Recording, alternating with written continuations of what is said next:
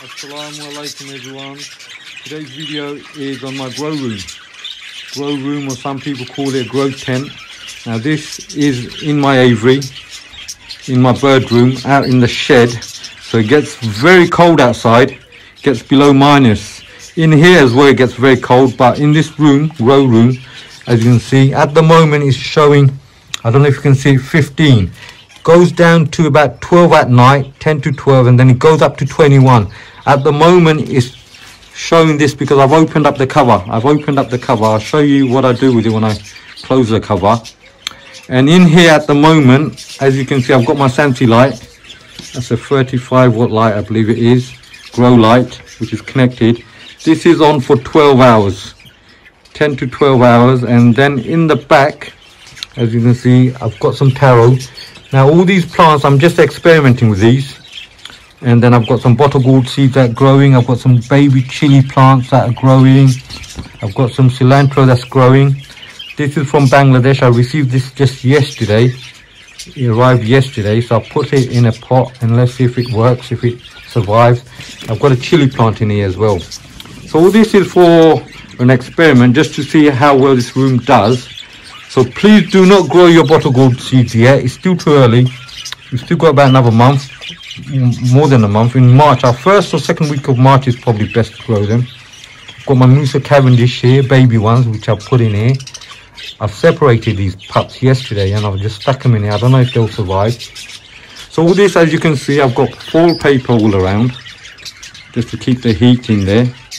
And then in the back, I've got a heater there you go. I've got a heater which is on about 80 90 watts. And that's on for about 15 hours that is. 15 or 16 hours. It's on a timer. These are all on a timer. And then here as you can see the cable. I've got undersoil heating cable. Undersoil heating cable. So that's on 24 hours. The soil heating cable is on 24 hours. It does not go off. The heater goes off for a few hours. I think about about 15 hours. The heater and the light, this one is on about 15 hours. So 8 hours they turn off. And then temperature as you can see at the moment is it's going down. It's going to 14 because I've opened up the front cover for it. This is all sand around it as you can see.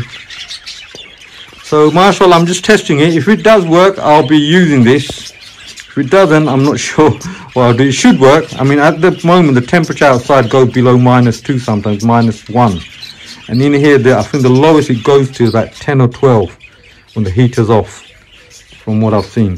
So what I do, once this is all done, I close up the cover. Let me show you. So, got a little cover in here. See this cover? close this up. I've got Velcro on the side. Good old Velcro. And then yeah. Make sure it's nice and tight. Make sure the thing doesn't go up. Stretched up. There you go. So that's all closed up. The heat will go up now. It will go up to 21, 22, maybe even more. Depends on the outside temperature as well. Now if we go around the back, let me show you how I've wired this. Well, I've got the timer, which is which controls all the lights and the electric power and everything in the back.